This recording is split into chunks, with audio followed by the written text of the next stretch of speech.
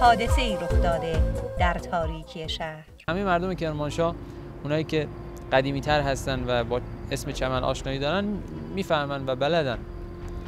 تو خود چمن هم که مشهوره. ما مکرر افرادی هستن که رفت آمد دارن به خاطر اینجوری که مردم میگن به خاطر مسئله فحشا. خانه های تیمی فحشا اونجا هست. و خیلی خانواده هستن که زن خانواده دختر خانواده رو در اختیار این کار قرار میدن که درآمدزایی بکنه براشون از شهرستان ها از تو خود شهر جوانهایی میان به خاطر فحشا از قبل شناسایی کردن موردهای خودشون رو میرن تو چمن پایین و به این عملی کثیف مشغول میشن. میان تو محلشون. یه چیزایی ازشون می‌پرسن که واقعا به قلوبشون بر می‌خوره مجبورن باهاشون درگیر میشن.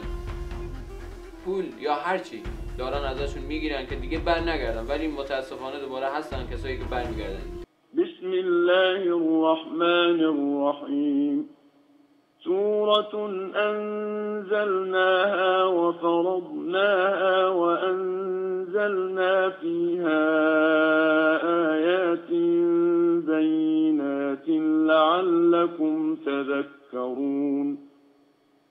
الزانية والزاني